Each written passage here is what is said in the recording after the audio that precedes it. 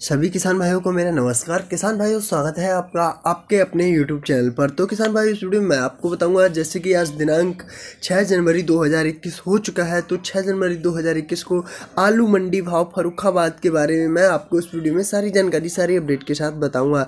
तो चलिए किसान भाइयों, वीडियो को शुरू करते हैं और वीडियो को शुरू करने से पहले अगर आपने हमारे चैनल को अभी तक सब्सक्राइब नहीं किया है तो चैनल को ज़रूर सब्सक्राइब करें और बेल आइकन को प्रेस कर दें, ताकि किसान भाई जब मैं अपनी अगली वीडियो अपलोड करूँ, उसका नोटिफिकेशन नोटिफिकेशन आपके पास पहुँच सके।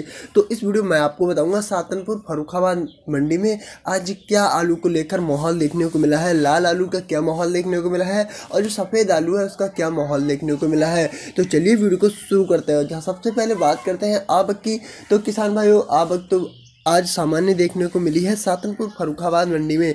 वहीं पर आज आलू का जो भाव है छः जनवरी 2021 को किसान भाइयों, जो सफ़ेद आलू का भाव है, किसान भाइयों, वो चार सौ रुपये से लेकर पाँच सौ एक रुपये तक के भाव में बिका हुआ है आज सातनपुर फरुखाबाद मंडी में। वहीं पर किसान भाइयों, अगर लाल आलू की बात करें तो चार सौ पचास से लेकर पाँच सौ इक्कीस तक के भाव में बिका हुआ है सातनपुर फरुखाबाद मंडी में। किसान भाई ये बड़ी अपडेट है।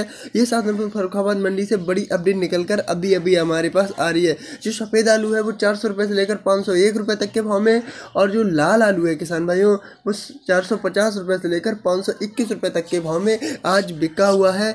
छः जनवरी दो हज़ार इक्कीस को सातनपुर फरुखाबाद मंडी में। किसान भाई ये बड़ी अपडेट हमारे पास अभी अभी सातनपुर फरुखाबाद मंडी से अपडेट होकर आई है।